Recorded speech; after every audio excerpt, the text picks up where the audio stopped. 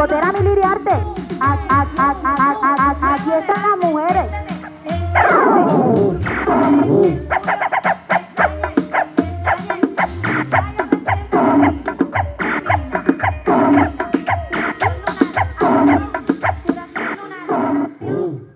Ok, sí, eh, bueno, ha sido difícil eh, incursionar en esto como picotera eh, en la ciudad de Cartagena, una ciudad predominantemente machista, donde los protagonistas principales de la chapeta han sido históricamente pues los hombres, ¿no? Tú, tú te puedes, o sea, tú puedes hacer el ejercicio y preguntar quiénes son los DJ, quiénes son los picoteros, los programadores, y siempre van a ser hombres los que te van a decir en el conteo, ¿no? Entonces ha sido difícil encontrar esa, esa balanza ¿no? entre hombres y mujeres en esto de la música champeta. De la misma manera que, por ejemplo, tú preguntas a las personas quiénes son las cantantes de mujeres champeta y la gente es posible que solo te digan dos. Es posible que te digan, no, Yuranis y Lilibet. Y vamos a ver que son más de 36 mujeres cantantes de champeta activas en la ciudad de Cartagena, pero que el problema principal es que a partir de ese mismo machismo, de esa construcción social, eh, nos invisibilizan a nosotras las mujeres aún más. O sea, el hecho de ser mujeres ya de entrada te va a limitar limitando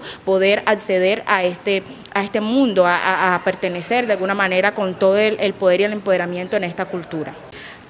Claro que sí, como te comentaba hace, hace pocos minutos, sí ha sido muy difícil, pero digamos que lo he podido hacer gracias al apoyo principalmente de organizaciones como la Fundación Rostro, de donde yo vengo, que eh, inicialmente yo empecé como académica, como investigadora acerca del papel de la mujer en la cultura champeta y además de todo mi participación en el movimiento feminista de la ciudad de Cartagena. Entonces, contar con ese apoyo tan grande que es rodearme de otras mujeres valiosas, independientes, autónomas y estar además eh, con todo ese conocimiento de la investigación de la champeta me ha permitido poder defenderme en espacios donde me han querido discriminar, me han querido censurar por eso lo he hecho de ser mujer. Entonces, gracias, digamos, yo le doy muchas gracias al feminismo. Sin el feminismo, no, yo digo que no, no, no hubiese podido ocupar yo este espacio que estoy ocupando en la ciudad de Cartagena como una mujer programadora, animadora, samplista.